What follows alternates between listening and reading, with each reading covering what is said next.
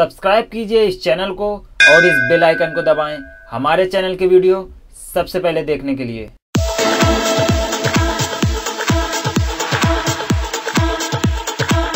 यहाँ बुधवार को एक लग्जरी गाड़ी ने ग्यारहवीं की छात्रा को टक्कर मारी। साइकिल से स्कूल जा रही छात्रा उछालते हुए 8 से 10 फीट दूर जा गिरी। ग्रामीण गोविंद ने बताया एक्सीडेंट बहुत भयानक था। कार की स्पीड करीब 100 किलोमीटर रही होगी। आवाज़ सुनकर सभी मौके पर पहुँचे, लेकिन तब तक छात्रा की मौत हो चुकी थी। पास से गुजर रहे कुछ छात्रों ने मृतका की पहचान की। मामला बिल्हौर थाना क्षेत्र के प्रधानपुर गाँव का है। यहाँ मृतक का मधु पंद्रह पिता किसान जयकरण और माँ शिखा के साथ रहती थी। मृतक का मनसुख लाल सर्वोदय इंटर कॉलेज में ग्यारहवीं की छात्रा है।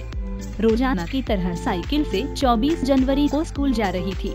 ग्रामीण गोविंद के मुताबिक जीटी रोड पर पीछे से आ रहे एक लग्जरी गाड़ी ने जोरदार टक्कर मार दी और भाग निकले।